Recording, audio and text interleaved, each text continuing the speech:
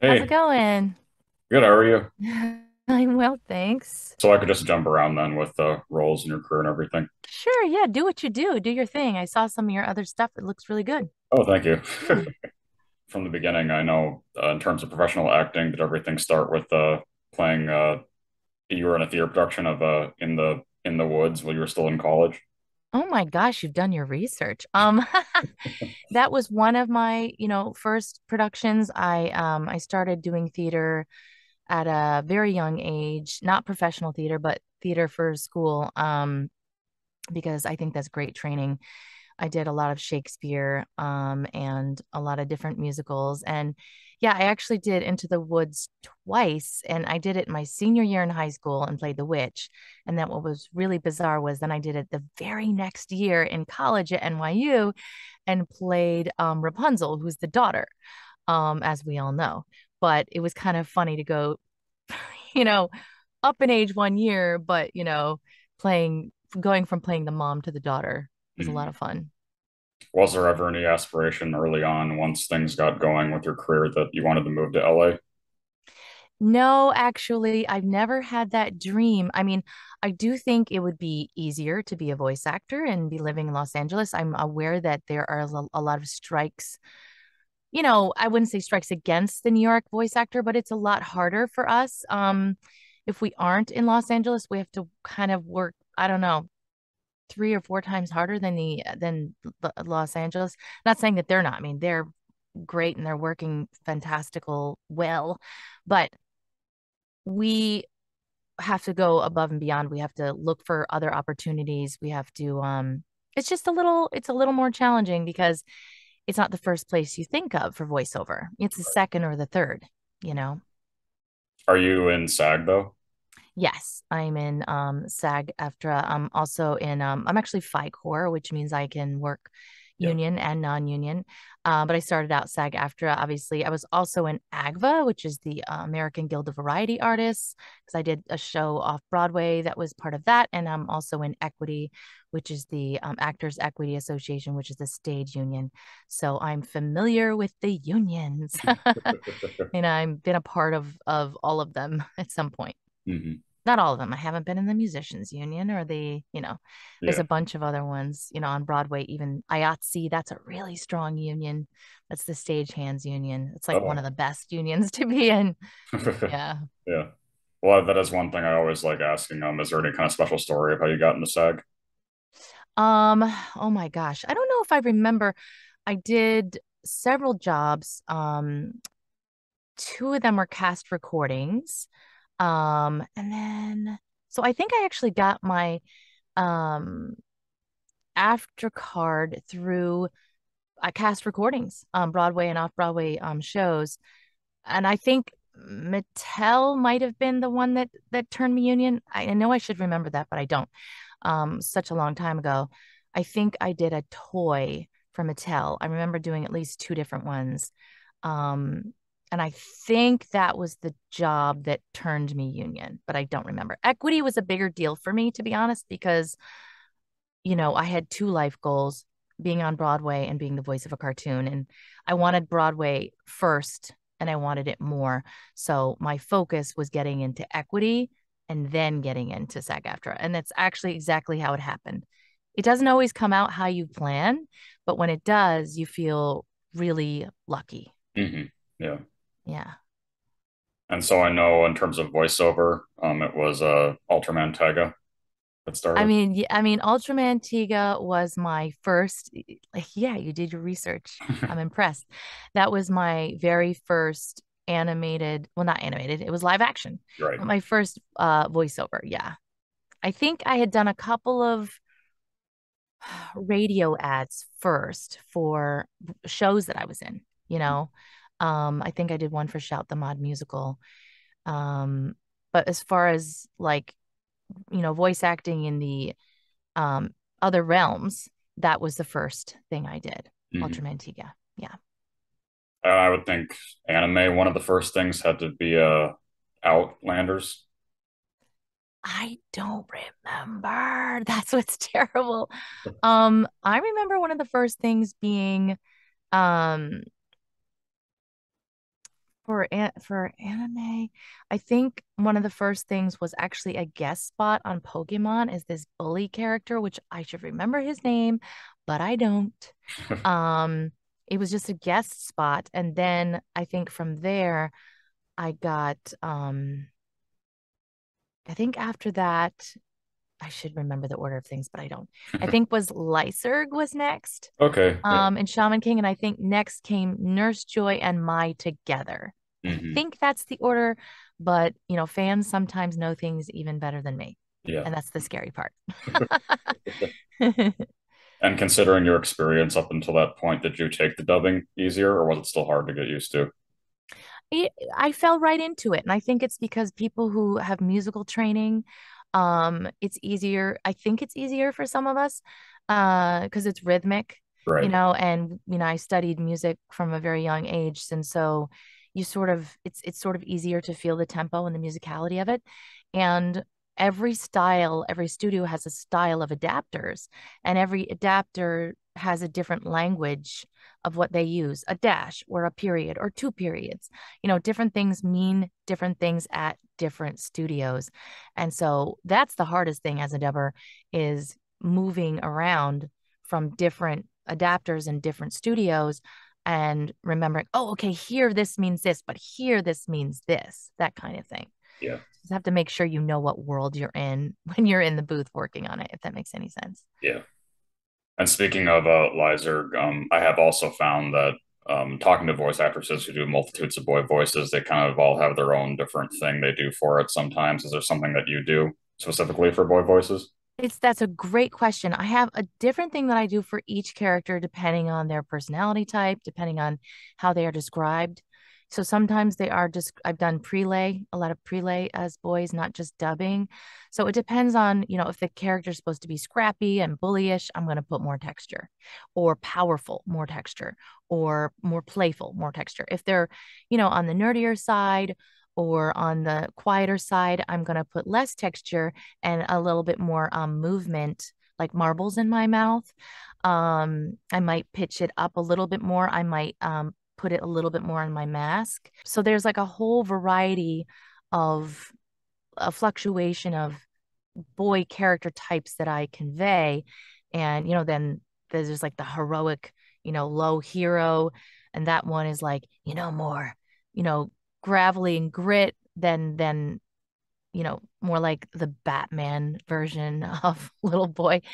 Um, so it kind of runs the gamut. But one thing that I tell people, a great way to get in this inside the mind of a child, you know, depending how young you're getting, the younger you're getting, the more over articulation there tends to be because we're learning how to speak. At, Mhm. you know, the younger you are, the more you're actually still learning. So like when a when a baby is walking, you'll notice that they kind of hit the floor really hard because they don't actually know where the floor is. And so sometimes they straighten your leg before it hits the floor. It's and so like when a baby is learning to speak or when they're getting when they're getting older and they're becoming a toddler and then becoming a child, um, they're trying to learn how to move the mouth correctly. And so sometimes I'll say like putting a certain amount of like marbles in your mouth. You're not actually doing it because you could choke to death, but it's like how many mar- marbles am I trying to get around? And that will kind of add to the babyish quality if the if the character's younger. So that's a little trick that I taught myself years ago, and then I like to, you know, if I'm trying to help someone create that sound, that's uh, one of the tips that I'd give. Yeah. Yeah, overcompensating when you don't know what you're doing. Yeah. Yeah. And speaking of uh, Shaman King with Lyserg, um, what were your thoughts on the newer series and how dark things got with his character? And I mean, I was psyched, you know, like I mean, I'll I'll go wherever wherever the story takes me. Like I'm a team player. Um, I tell, you know, I do coach sometimes and I I tell my students like check your ego at the door. Like come in with ideas, but check your ego at the door because your idea is not necessarily going to be the producer's idea or the director's idea. So you have to be ready to change at a moment's notice. And I also say don't get locked in an idea. Don't get locked in a read because the, the more strict you are about this is the only way it can be done, Mhm. you will fail because you have to be able to be flexible, you know, walk in the door, check your ego, as you're coming in and be um be open, you know, be open to what they have to say. And as long as you're able to take direction, that's how you succeed. And that's how you continue working because those directors want to work with you again. They know, you know, this person's not going to be a diva and this person's not going to get locked in a read or locked in an idea. And I can really play with them and I can mold them, you know? Mm-hmm. So it's a combination of the director's ideas and your ideas coming together. Yeah. That's what makes the perfect, you know, the best types of performances. Mm-hmm. What uh speaking on Lyserg again, um, just because I'm a big fan of his character and everything. Uh, what what uh, aspects of him could you relate the most to? I mean, the friendship, the deep ties, the loyalty, and then like, you know, it was interesting because when we um when we when we decided to do, you know, when they asked me to do the new one, I came to them ahead of time and I said, "Hey, this is exciting. I'm very excited to do this, but uh what do you want to do? Do you want to do what we did before or do you want to give him, you know, a British accent Oh, or, you know, what and so they decided like let's keep it for what the fans want and what the fans are used to. Let's keep it the way it was. Because I did say to them, hey, I'm open to changing it. I'm open to trying it the way that it was initially intended. Um, and I think the reason why it wasn't done that way is because they hadn't, Japan hadn't given them all the storyline ahead of time. mhm. So they only could work with what they had. And so they had made one of the other characters British. And then they were like, oops, you know, I can't, we can't do that now with this character. And so they just were like, just don't do it. Um, so I would have loved to have add that layer, but I was also excited to explore and go back to what I knew. You hmm know what I mean? I hmm thought you might find that interesting since you are a, a fan of the character. Yeah, yeah. Yeah. And I just thought that uh the scene where he quickly makes work of the uh Egyptian fighters and he's crying and telling Yoh that, you know, when he's brainwashed and he's like, um, you know, kindness isn't gonna save anything. Um, I thought that you did a really great job at that. Oh, thank you so much. You know, as an actor, most of us love to dig deep. You know, I tell people there are different kinds of actors and there's different ideas of what acting is. Some people say acting is reacting. That's so much a part of it. Listening, right? When we're listen when we're in the booth by ourselves, we're not always able to listen to what the performance is. So we really have to look at the context of what's being said before. But also, um, so acting is reacting, but acting is also some people think it's showing. Yeah. Okay. That's part of it, but it's feeling because when you feel, you're showing already, you hmm know, and, and again, there's two, there's two ideas of thoughts. There's actually way more than that. But like if you're doing a Broadway show and you're doing eight shows a week, you have to rely on the technique because if your character's breaking down and sobbing, you know, in the middle of uh, act two, scene one every night, chances are you're going to get there six times out of the week, but maybe the other two you're not quite going to get there. So you got to rely on your technique. So maybe you can always get there by by thinking about putting yourself in that position or thinking of a of a friend of yours or a child being in that position so you can get there from the what I call the inside out. But twice a week, that's not working for you. So hmm you got to go to your second toolbox and go, okay, if I make the sounds that I'm supposed to make, then I'm the feeling might come after. So everybody works differently, you know, but it's important to note that some of the best acting in, in in my opinion most of the best acting is feeling. And even when i'm playing a comedic character on stage or or in a show um i'm feeling the sorrow of that comedic character just as deeply and heavily as i'm feeling the sorrow of a dramatic character. Hmm so that's the trick is like you're not playing the joke you're not playing the effect of what they're hearing. You're playing what that character feels in that moment. And if you play that honestly it's going to come across that way, Right. you know? What do you think in terms of anime? What do you think the darkest headspace you've had to go for a character is? Uh, you know, I can't recall necessarily the darkest in anime. There's been a lot. But one of the darkest uh, spaces I had to go to was for this um gosh, I hope I remember the name of it. White Day. It was a video game. And my character, I don't want to like ruin anything or there any spoilers, but there's a scene where she's caught in a fire, you know, and she's screaming for help for her mom. And it's like the characters I ambiguous their their you know their intentions and so i kind of already knew all of that but then the characters dying in a fire and asking help from their mom and that scene killed me you know like i remember actually you know really crying like i should be right but also kind of feeling a little stuck in that moment because it was just so thinking about i mean just i was a mother at that point you know what I mean? And so it was like, oh, like I can't, I can't go there. This is this is too difficult to imagine a child being in this position. So it was very easy for me to go there emotionally. And what part of the technique is is how do you get out of that? As fast as you got into it, oh, the next cue, you're in another scene and you're happy now. Right. You know what I mean? And I would I think that was one of the most difficult transition moments from a deep scene. I had to ask the director for a minute. I was like, "Can I just have a minute?" Like I just I don't know why, but that hit me really hard. So I took a minute and then we went on to the next beat. But um that was probably one of the darkest moments I've had to play. Okay. Yeah. And then this is a more uh, technical question. Um it's a great question. I've never been asked that before. Oh, thank you. uh, technically speaking, um, with Pokemon, what was the case where you had to alter your voice the most for the Pokemon? okay. Well, gosh, I'm probably gonna have to give a couple examples if you don't mind. Yeah. Um, Tapu Koko is a is one, but that's comes from like this sound that I created as a child.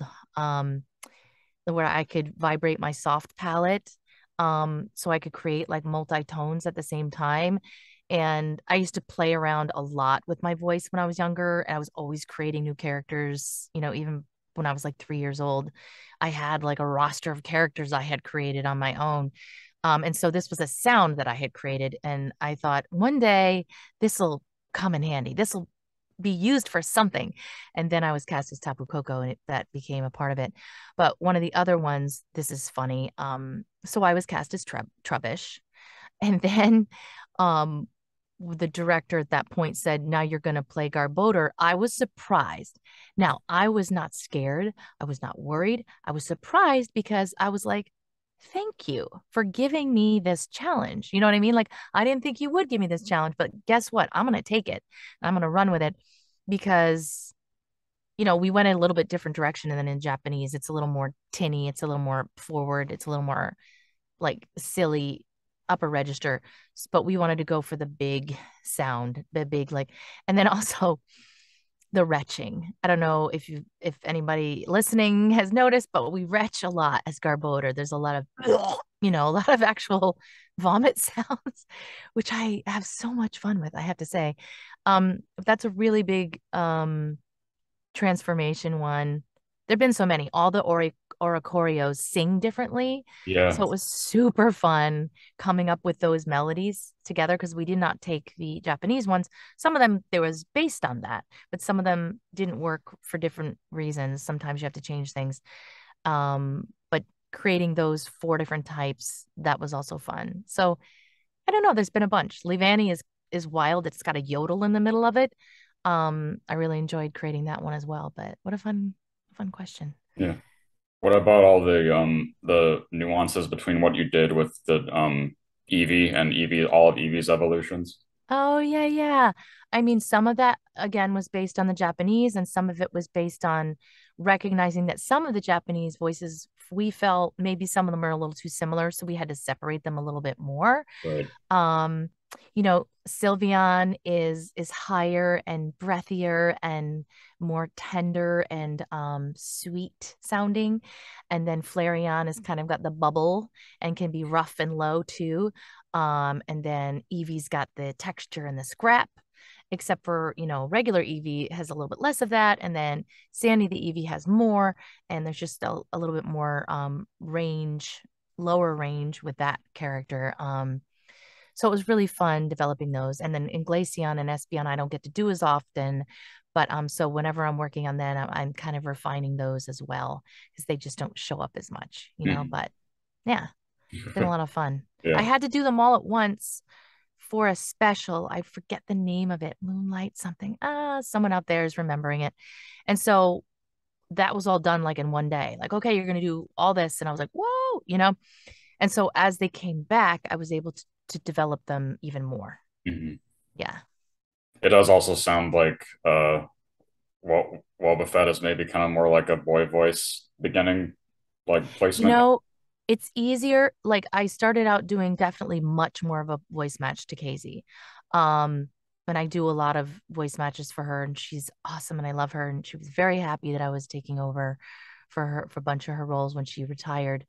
Um, but her her voice I was a natural choice because we have a lot of similarities in our in our just natural voice box. Mhm. But then um, there are some differences, and her, one of her differences is she's got this amazing like meaty texture in the middle of her voice.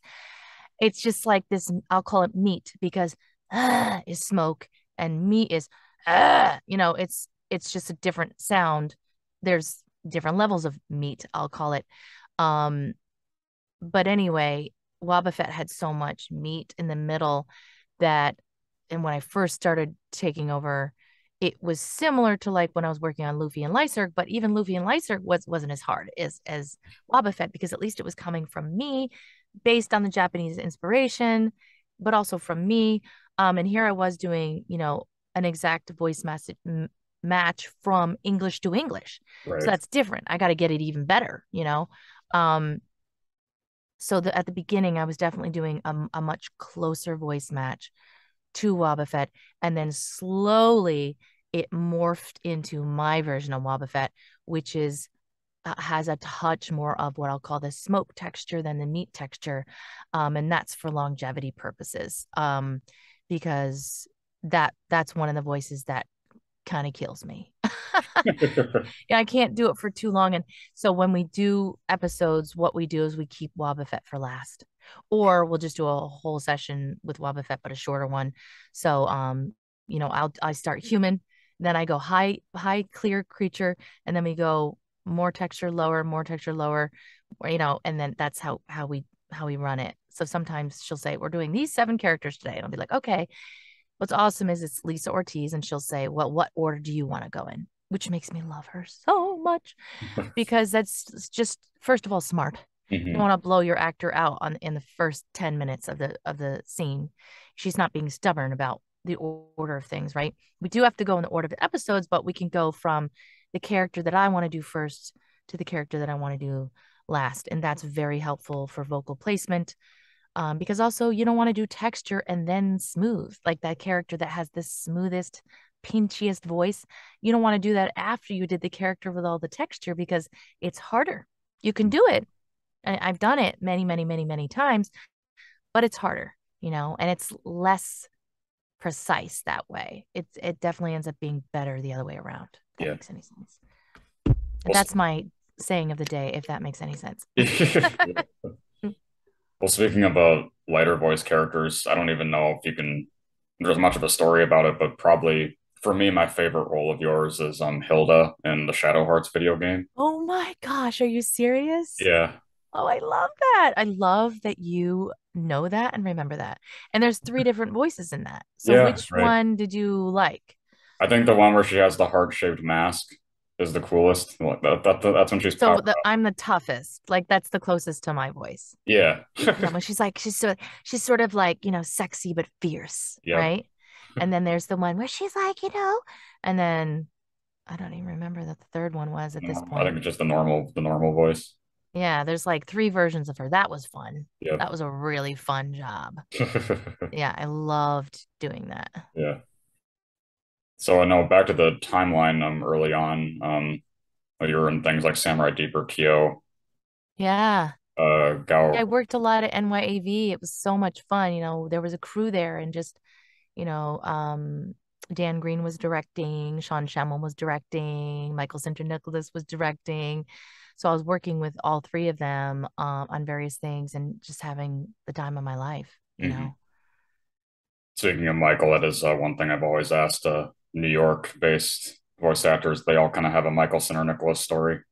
Oh, Michael's the best. I mean, I what what is the Michael Sinterniklaas story? I remember actually at Christmas time wrapping presents, helping him wrap like ah, they were really nice presents. I don't know what they were. They were like a cube, and they were some like really piece of electronic equipment that was very expensive that he bought for all of his directors.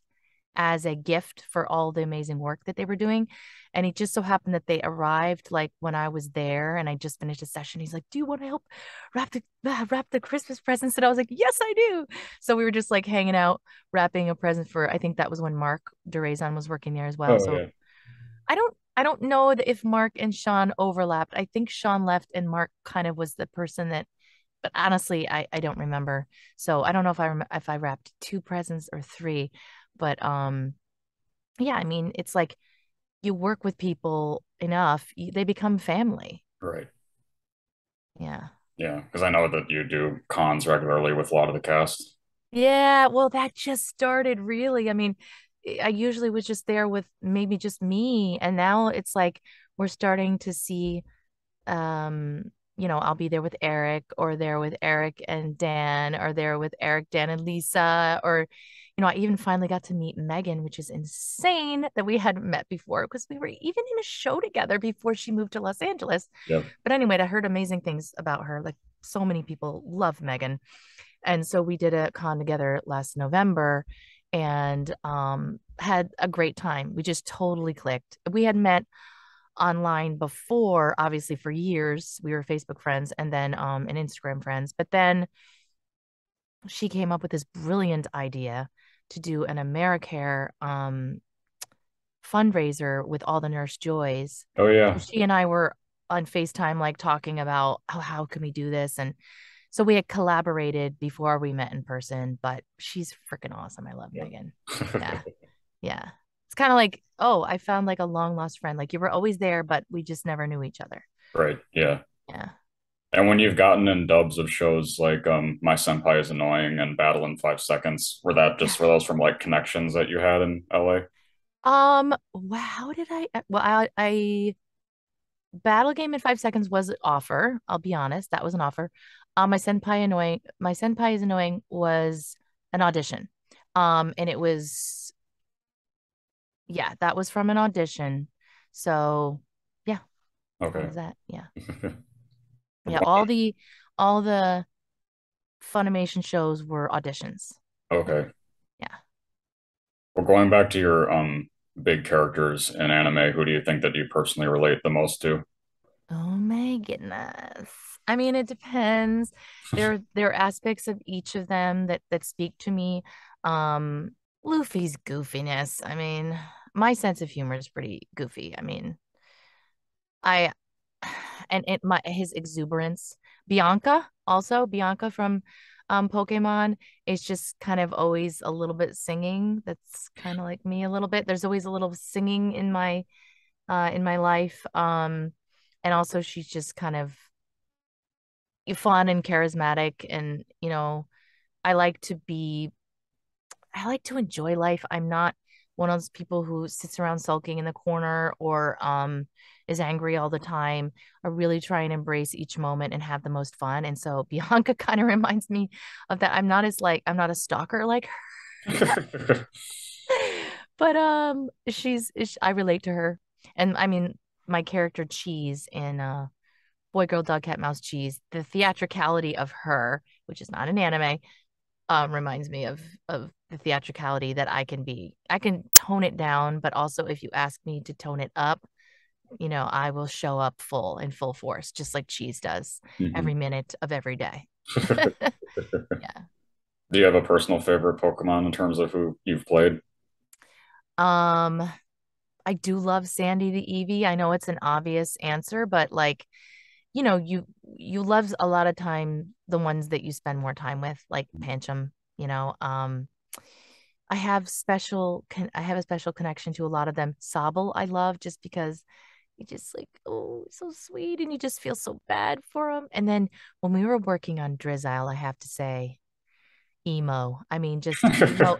It just Lisa and I were laughing a lot because it was just so it just reminded me of like an emo teenager and that's really what we based it on and um I think when you listen to the performance you'll chuckle a bit because that it, we, we were just really spot on with the you know grabbing from current society and bringing it in Right. it was a lot of fun Mhm. yeah What about in terms of your characters in Yu-Gi-Oh? well I mean Akiza is special to me because she was all mine you know what I mean Um, obviously based on the Japanese, but um, and what's interesting about Akiza was if you listen to the first couple of episodes, which I haven't done and I should really do it, I remember starting out a bit higher in my register and then um Darren Dunstan going, let's bring her down a little bit. Let's make her a little bit more you, Erica. Let's like let's bring more of you into her. So there's like it's it's a lot of me, you know, and um I really and he was like you're a little bit more of a of a woman. Like she's she's a girl but she's also she's strong and like so I really enjoyed the process of kind of making those changes at the beginning. If you listen to The Simpsons and you listen to um Homer, he's completely different Right. from season one to even I think season two or three. Um, Akiza went through a little bit of a shift at the beginning, and then when we really found her, it was great. You know that that role meant a lot to me. And what was really funny about that role was I didn't know it was going to be a big part. I thought she was going to have like a two or th- or three Oh, character arc, battle arc, and she was going away. I think it wasn't until like the sixth episode that I was like, wait a minute, is she part of the main cast? Like she's sticking around? And they were like, yeah, yeah, she's sticking around. And I was like, well, happy surprise to me because I had no idea. So it was like a, you know, then there was like an the extra gift of she's not going anywhere, you hmm know. Um, and people, what's interesting is Blaze the cat and Akiza. People talk about those two characters to me. Fans talk to me all the time about these two, and they they bring a lot of parallels. They're not comparing them, but I am in my head when they talk about them, um, because they were both like the first, um, you know, fierce and strong warriors, and they won, you know, and they and they were eh, emotional. They had something, a journey that they needed to go to, go through. And um, so, in certain ways, you know, a lot of my fans, and particularly the females, really relate to those characters. And they're like, yes, they were waiting for that type of character to come along. So they were excited when it when it finally did. That makes hmm any sense. Yeah. Did you tend to uh consume much of the anime that you also act in, or? That's a great question. Um, I would usually try back in the day and watch like the first one to three episodes of everything, just so I could get a sense of what the show was and what it felt like. You know, more like research on the show than than than research on myself. Not because I was ever cringe. I know some people are like, I hate, you know, for me, I make the choice and once it's done, it's gone. I'm not second guessing because second guessing is just terrible. It's a terrible idea. Don't do it. Make your choice. Don't second guess it. You know, if the director wants something else, obviously, or another take, you go for it. But you are, as actors, we are interpreters. We are there to interpret the material. We are there to not give a neutral feeling about it, to make a choice and um, go with it. So, to answer your question, some. And then when my kids were born and as they got older, I ended up listening back because they discovered things. Do you know what I mean? So I'd be Yeah. like straightening my hair in the other room or something, like the house that we were at before this when we were renting, and the bathroom was like right next to the living room. So I'd be like getting ready in the morning as my son would watch his morning cartoons, and sometimes he was watching Pokemon, and sometimes he was watching Yu-Gi-Oh, and he'd be like, "Mom, mom, you know, is that you?" Like, I think that's you. Like he'd be trying to find out which characters were Yeah. me and which characters weren't. It was so cute. And so like 80% of the time he'd get it right. You know, 20% of the time I'd be like, nope, that's not me. He'd be like, really? It sounds like you. You know, he could kind of sometimes figure it out. And sometimes he'd miss one. I'd be like, that's mommy. And he'd be like, really? You know, um, so that was really sweet is to come Yeah. back and listen to it with your kids. Like that's special, you Mm. know? So rediscovering a lot of it now because of the kids. And my son watched the I had two or three DVDs of the 4Kids version of One Piece. He watched it and he loved it because he was a kid. He didn't know the original. He didn't have anything to compare it to. He absolutely loved it and he wanted more. And my husband was like, hell no, because it was like $150 for the next DVD. So the next thing I know, he's watching the Funimation version. I walk in the room and he's like, he looks at me like I'm going to be mad at him. He's like, Mom, I'm sorry. And I'm like, I don't care. I, I love that you're watching it. Like, that's the whole point. hmm This you can transition. A lot of people watched both. A lot of people loved both because one was one was for we had to listen to standards and practices. Not we, I didn't have anything to do with it. I'm just an actor. But S&P was really strict. So we had to they had to adhere to those rules. And so then when the new version came out, that was a little bit more a lot more, you know, uh what do you what do you say? Um true to the source material. Um people a lot of people made the transition and watched both. You know, so it's like fans come up to me Colleen has signed a pop and then I sign it or I sign a poster and they're like I'm to get Colleen to sign this. So it's a it's a beautiful thing. It's a really interesting and fun thing to be the first, second, third, fourth, fifth, sixth, seventh, eighth. I think I was the ninth Emma Frost. Um yeah. and it's like I look at it this way.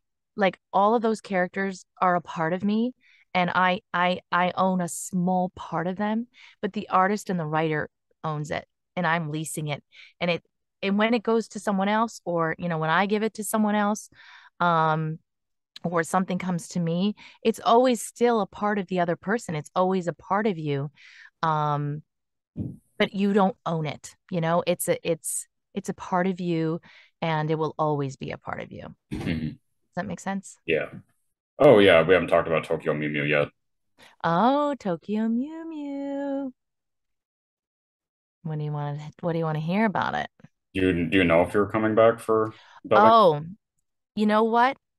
I wouldn't be allowed to say oh, okay. if I knew. Um, if that makes any sense. Right. Yeah. Again, that's my phrase of the day. that's fine. Was uh Bridget or Lettuce someone that you could easily relate to? Oh yeah. I mean, it's an interesting journey as a female in society going through you know you have a lot of different influences in life and you have some people saying keep your head down you know do this. Some people saying lift your head up and do this.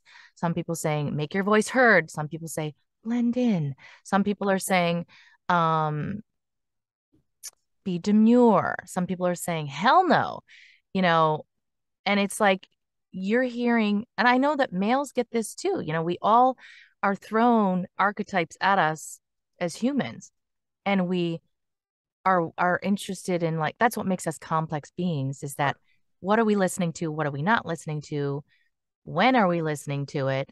Um, and how does it all come together to form our personality you know? And so i would say in my 20s i was always fun and kooky and weird and silly and confident, always confident, but also, you know, trying to understand when to keep quiet, when to speak out, something that I'm still cognizant of. But I think in my in my earlier years, I was even more cognizant of it and I kind of probably listened to it too much, you know? Mm-hmm. And as you grow and you mature as a person or as a woman, um, you start to recognize that there are times when you should not be quiet.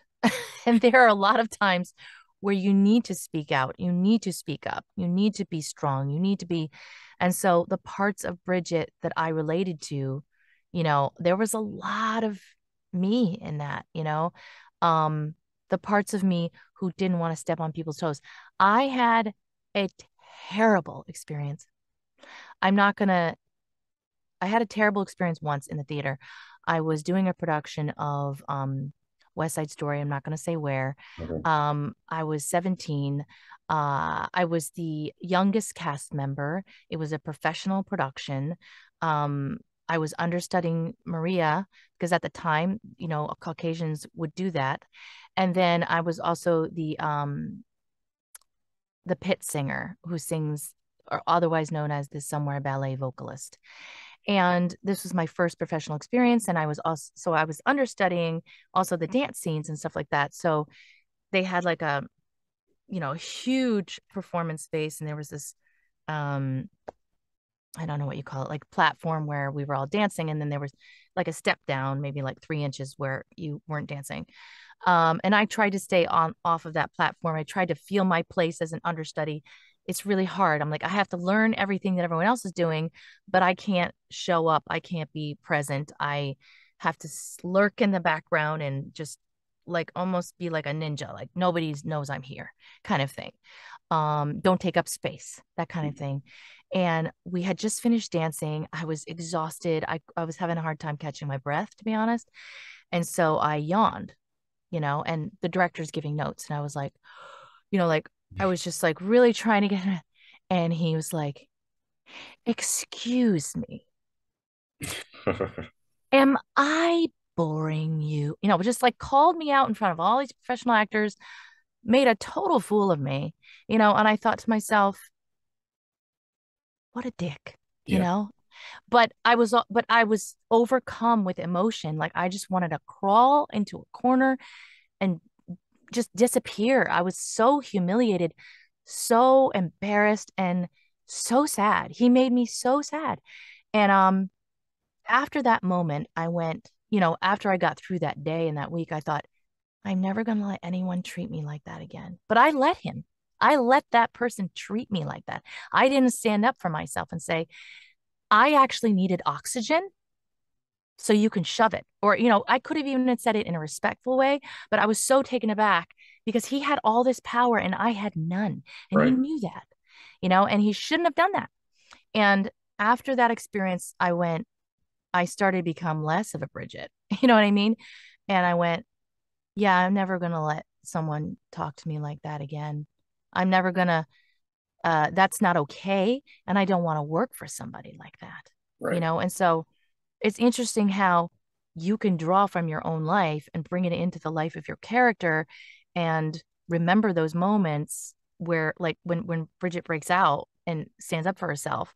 I'm thinking about moments like that where I was like, didn't do what I should have, or when I learned to finally do it. Mm-hmm. You know, this might be obvious too, but was it um situations like that when it came to live action acting that made you want to focus more on voiceover because if there's no like drama with it for the most part? oh, you I'm sorry repeat the question. I'm I'm I'm a little bit confused about oh, it. Oh, did you want to like was there something that happened related to that, similar to that, that made you want to focus? Oh, you mean like I just didn't want to experience that again? Yeah, yeah. No, I mean I like I said, I had these two life goals and I was like, I'm not gonna stop until I get them. Do you mm. know what I mm. mean? Yeah. It's funny because, you know, some children know what they want to do immediately.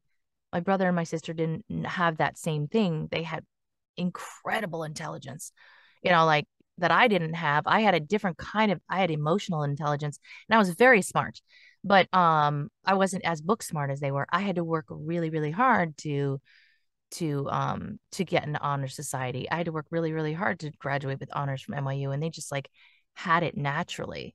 But what I had that they didn't have was drive um and n- to know what I wanted and I felt bad for them and I think it's funny because you shouldn't know what you want to do when you're that young. But like I had all this empathy, like, oh, they don't know what they want to do. Like, how terrible, you know? But everybody finds that and discovers that at a different time.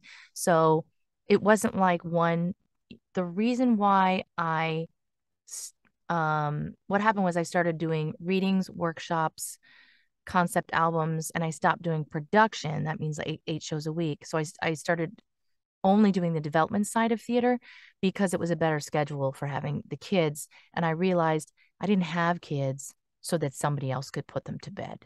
Mm-hmm. You know, and I was like, yeah, I'm to each their own, whatever you want to do. But I was like, no, I'm going to, voice acting is perfect for me, you know, because I could put my kids to bed every night. Yeah. You know, what greater gift instead of just on Mondays. You know, that would have been horrible. I don't think I could have handled it. So when when they go to college, um, I'll probably get back on the stage as well. I don't really know if I'll have it's okay. different if I'll if I'll still have the the energy because it's like the amount of energy that it takes to be a voice actor to be a successful voice actor is a lot.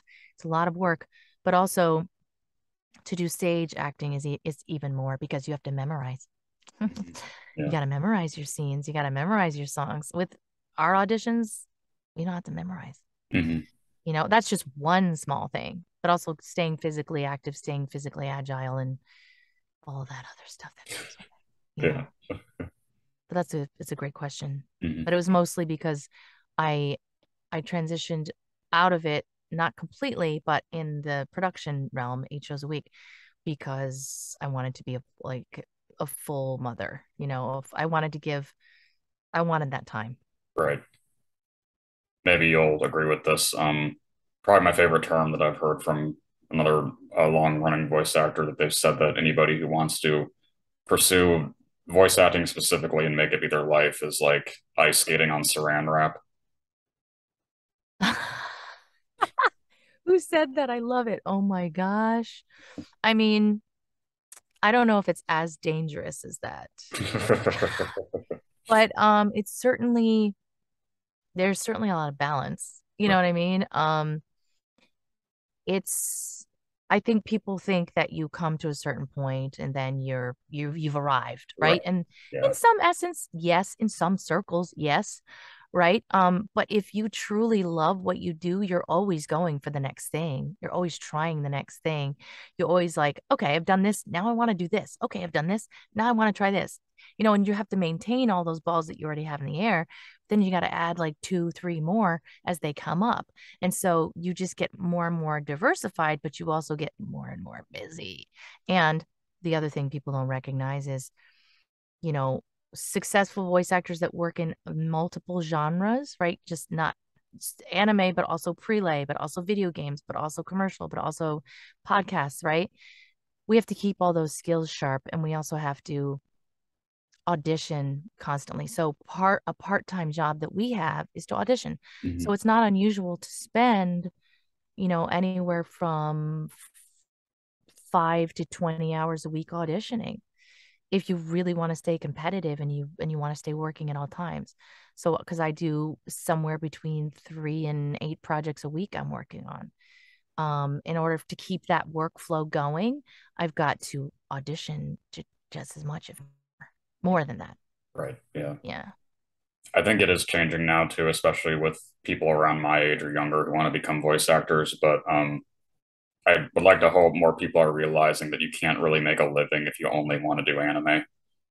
Yeah, I mean, it depends. I, I mean, you can if you're going to be an adapter too, and maybe a director, Yeah. or if you're just going to do that and you're going to like get a certain amount of hours, you know, you can do that. There was like a long period of time where I was, you know, only acting. Um, and, you know, I've been uh, c- consistently a voice actor for 20 years, but yeah, dubbing does pay less. And so it's um it's harder, but you know, if you have relationships with studios and you can keep that workflow going, it's possible, but it's not easy to Sustain. yeah, it's not easy to, to sustain. It's not easy to um to ha to have savings or to, you know, to grow the in the way that other people grow in their career. It's um there's uh, I guess more more ceilings, you hmm know, um to to hurdle over if that makes any sense. Yeah. Yeah. So what kind of things uh recently, like is there anything that's upcoming you can safely talk about that you're a part of? Um, well, we just started recording season three of Boy Girl Dog Cat Mouse Cheese. Um, it only took me like six months to learn how to say that. And I play two of the mains, um, Cheese and Cat, and then three ancillary slash guest characters that come and go. Um, Susie, um, Lila Bird, and the CEO. And I love all these characters so much. Like I love the CEO. Like I didn't know I would fall in love with this character so much. I mean, she's just such a piece of work, you know what I mean? That is currently out in in Europe. It's it's in um it's in England, Scotland, Ireland, I believe. Um f- and then the French version in France and then also in Canada. So we're hoping that that gets finds an American audience soon because it's such a fantastic show and people would just flip over it and love it. Um working on a couple of video games NDA, working on a couple of series NDA, um, and a couple of pilots. Okay. So always like I would say always eight to 12 projects at a time coming and going. And then these three will phase out and these four will come in or and then sometimes you have jobs that are like one day, you hmm know. So um other I mean I'm always always working on Pokemon, but everything else is NDA right now. Okay. Yeah, sadly. I think. I'm sure as soon as we finish the interview, I'll be like, oh, there's two projects I could have talked about. Yeah. But Well, since it is fitting for this time of year, I didn't uh, I didn't, I didn't bring up uh, when talking about Shaman King that you also, of course, play um, um Matilda, and she's the Halloween. Um, yeah, yeah. We um we did tweak the voice and the character just a touch, um, which was fun. But yes, I loved playing her. Um, and she was like on my demo for years because she's such a fun character. And I think we called her Maddie. yeah. Yep. Yeah. And then now she's Matilda. So it's, it's fun to see like the little changes that happened from the old version to the new version. And I'm sure everybody noticed, I know you noticed because you like Lyserg, that Lyserg had green eyes in the original and blue eyes in the reboot, Yep. hmm which I like. I like the change, you know, Yep. but um, I don't know, maybe purists might not be so happy about that. Well, my final question is always asking, uh, what do you want your legacy to be? Ah, aw, wow, what a great question. I want my legacy to be that I was um prepared um and fun and I checked my ego at the door. I wasn't a diva and you know that I was loved and respected by my colleagues first and then my fans because I think that's really important and going into everything that I've done it's always been really important to me that that I keep my sense of self and that I never, you know, lose who I am in in the fame aspect, right? Um, and just that that I'm a person that that people enjoy working with and that I showed up on time and like I don't know, what would it say on my grave? Um, she showed up. I don't know. Um, and you know, I hope that people remember and recognize that um, I was a part of so many wonderful projects and got to bring some characters to life. And then some characters I got to further their story. Um, but wherever I got those characters on their journey, you know, it was just, it's always a complete pleasure. You hmm know, Yeah. it's joy. I hmm love it. That's why I'm still doing it. Yeah. Yeah. Yeah, and I just wanted to add too that I think one of the reasons why the Shadow Hearts game series stuck with me so much, not just because I love horror as a genre, but also because um that the third game that you were that you were part of came out when I was in uh fourth grade, and um I remember uh that was one of the things that I primarily consumed when there was a there was a normal night when prior to that uh there was a normal night where I was out to eat with my parents at a local place close to our house, and then we were about to leave, and then um, heavily armed SWAT policemen came in and told everybody to turn all the lights off and go into the two bathrooms because there was a guy who uh, shot and killed one, or yeah, that he shot two people and one of them died, and he Oh was my fleeing on foot, and um, he crashed his car outside the restaurant, and he was trying Oh to my goodness. get inside. So everybody in the restaurant had to stay in the restaurant until probably one in the morning, and then get individually escorted to our cars. So that was one of the Goodness, that games. is terrifying. And you Yeah. were playing that game like And that was, yeah. So thank oh you for being part of that. Oh my goodness, what a horrible thing to live through and to but th- thank goodness that you you and your family were okay. That's that's traumatic. Oh my goodness. And sadly, things haven't changed much on that front, Yeah. but hopefully soon. hmm Yeah. Well, I just wanted to thank you for yeah being part of being Of part of that. Yeah. Thank you so much. And thank you so much for having me. This was, you asked so many beautiful, wonderful questions that I've never been asked before. Oh, thank you. And I really enjoyed it. I really enjoyed this time. So thank you. Yeah. Well, have a good rest of your day then. Thanks so much. You too. Thanks again. Yeah. Thank you. Awesome. Take so much. Take care, Chris. Bye. Okay. Bye.